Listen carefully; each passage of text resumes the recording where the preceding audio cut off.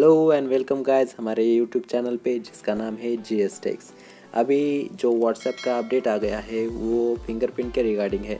तो चलिए उसी का वीडियो अभी हम बनाते हैं। कैसे देखते हैं, कैसे उसे इनेबल करते हैं और कैसे उसे अपने फ़ोन में यूज़ करते हैं।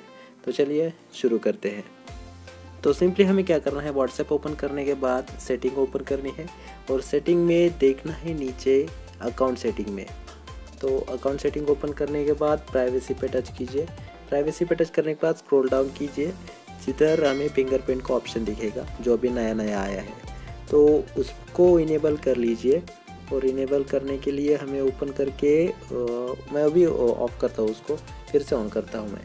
तो ऑन करने के लिए फिंगरप्रिंट कंफर्मेशन मांग रहा है तो मैं अभी फिंगरप्रिंट कंफर्म कर देता हूँ। तो फिंगरप्रिंट के लिए हमें बटन ठीक है हो गया। तो मैं अभी इमीडिएटली पे सर्च करता हूँ।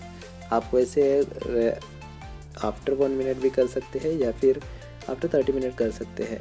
तो मैं आपके लिए अभी सिंपली इमीडिएटली पे टच करता हूँ और बैक लेता हूँ। तो बैक लेने के बाद देखते हैं अभी कैसा वर्क करता है ये। तो अभी जो हमारा व्हाट्सएप है, वो हमें ओपन करने के बाद ये फिंगरप्रिंट अलाउ करेगा। तो देखिए, ये ओपन किया और यह फिंगरप्रिंट मांग लिया। तो भाई यही वर्क होता है हर एक मोबाइल पे। बस फिंगरप्रिंट सेंसर होना चाहिए। तो भाई यही था आज की वीडियो आपको अच्छी वीडियो ऐसी ही देखनी होगी तो हमारे चैनल को सब्सक्राइब कीजिए और लाइक कमेंट और शेयर करना मत भूलिए।